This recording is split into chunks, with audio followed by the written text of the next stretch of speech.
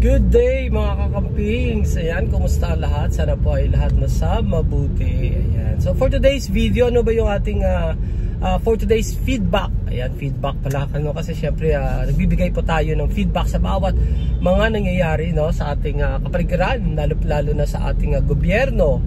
Ayan, so pag-usapan natin itong um, uh, anong tawag nito? Yung uh, Maharlika uh, wealth funds, no?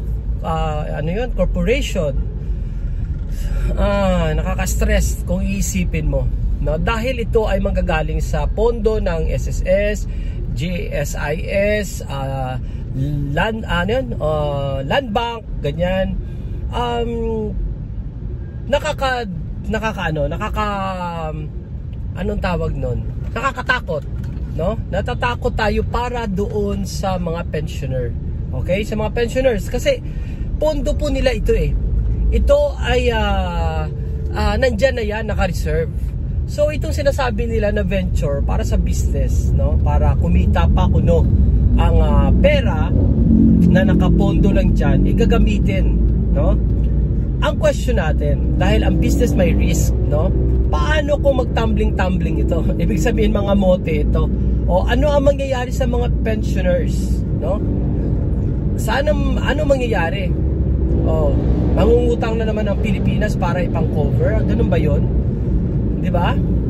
Eh kung tutuusin, ang uh, World Bank, uh, Asian Development Bank eh nagdududa na kaya nga pinapaimbestigahan, no?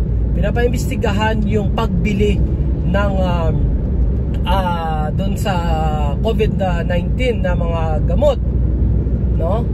Kasi nasisilip nila or nakikita nila yung questionabling uh, moves ng uh, gobyerno. So same thing din dito. Ngayon, hindi na naman sila makatulog sa pag-iisip kung paano galawin ang pondong natutulog. No? Na para na yan, hindi pa sila kontento doon sa pinanghihiram nila na bilyon-bilyon no? na pera, eh kailangan pa talagang galawin itong mga pondo ng SSS, GSIS, kung saan saan pa manggagaling. Napaka ano, napaka ano ba tawag nito, likot ang utak nila na hindi mo alam kung uh, andyan ba sila sa bayan para magserbisyo or nandyan sila sa bayan para magpirwisyo. No? So I, either the two, no? Andyan sila sa bayan para magserbisyo or nandyan sila sa bayan para mamirwisyo. Yun pala yung tama doon. Yun. So sa inyo, ano po ang uh, masasabi nyo?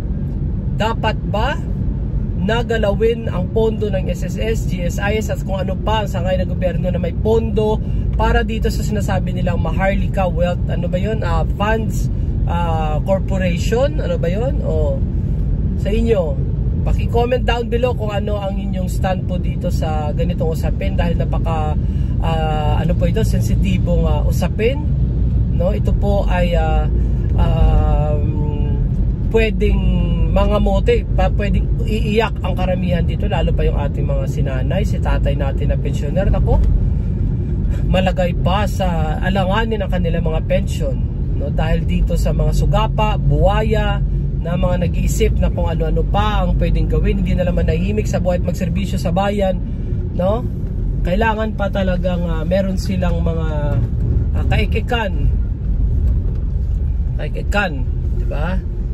So, pakyat tayo sa Tagaytay ngayon mga kakampings, no? Iwan na lang natin yung sasakyan nito. So, maraming salamat po sa inyo diyan, no? Comment down below kung ano masasabi nyo. God bless everyone.